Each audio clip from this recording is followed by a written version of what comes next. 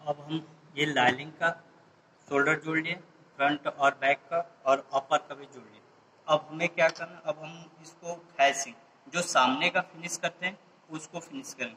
सामने का और नेक का। तो ये दोनों चीज़ फिनिश कैसे करेंगे? सबसे पहले आप लाइनिंग को सीधा, उल्टे नीचे की तरफ़ रखना सीधा ऊपर की तरफ़। इसके ऊपर जस्ट अपर पार्ट रखना जो सीधा अंदर रहेगा और उल्टा ऊपर के साइड में रहेगा। ये सेम, सेंटर से हम स्टार्ट करें, सेंटर से मिलाते हुए अब वन फोर्थ सिमिलाउंस यानी वन फोर्थ दे रखे हैं तो वन फोर्थ, और हाफ़ इंच दे रखे हैं तो हाफ़ इंच से इसको स्टिच करें।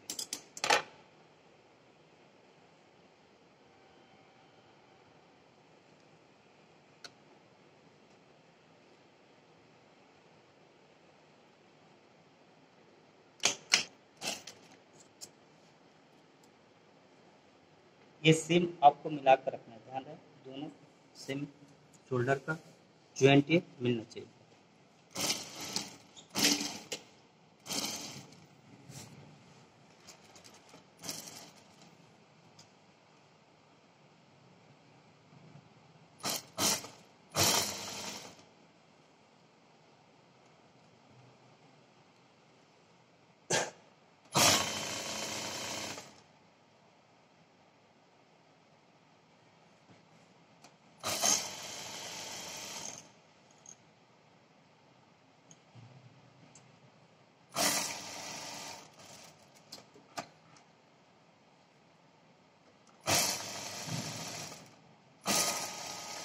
आपको यहाँ से सीधा निकालना है।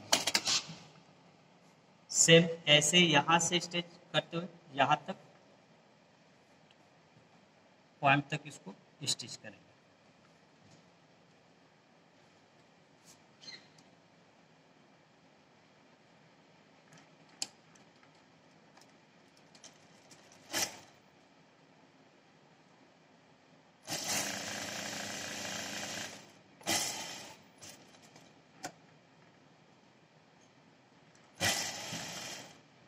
हमने लाइनिंग को नीचे रखा ऊपर को ऊपर रख करके शोल्डर पर ध्यान रखना कि ज्वाइंट जो भी है, उसको मिला करके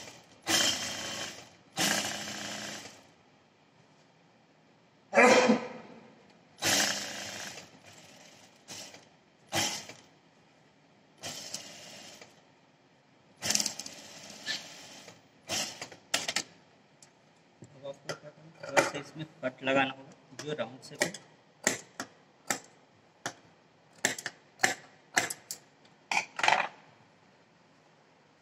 अब हमें लाइनिंग पर, ये लाइनिंग पार्ट से तो इसको सिमलाउंस लाइनिंग की तरफ़ करके एजेज पे सिलाई लगाना है।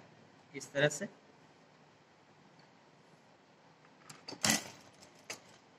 ये लाइनिंग पार्ट है लाइनिंग पर हमें स्टिच करना है एजेस पर। तो जो बाद में पलटे तो बाहर की तरफ़ इसकी सिमलाउंस नहीं होनी चाहिए इस तरह से।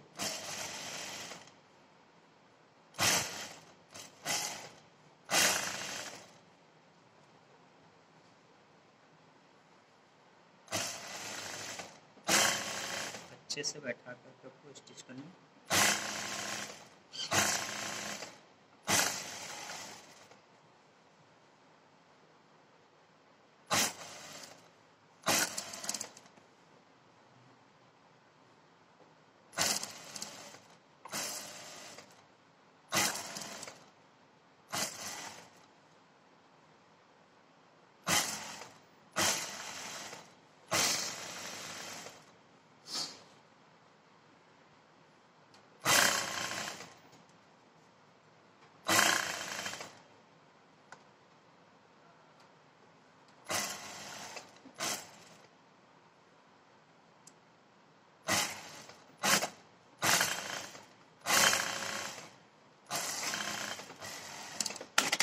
तक स्टिच कर अब इसको हम परेस से इसको बैठा लेंगे इस तरह से इसको परेस से हमें पहले परेस से बैठाना पड़ेगा, उसके बाद फिर अरमोल हम